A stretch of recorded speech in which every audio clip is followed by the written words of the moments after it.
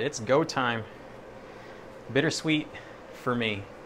It's been a long time coming, and uh, yeah, I honestly don't know what to say right now.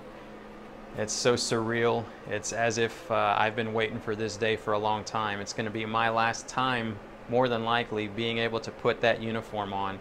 And uh, my Marines are out there ready to uh, kick this thing off. Heart's kind of pounding like a racehorse. I didn't think this was going to happen to me. But uh, I want to thank you all for watching.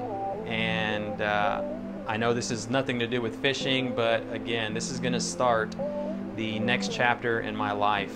Uh, I'm going to make a really strong go at being a YouTuber full time. Hopefully it works out.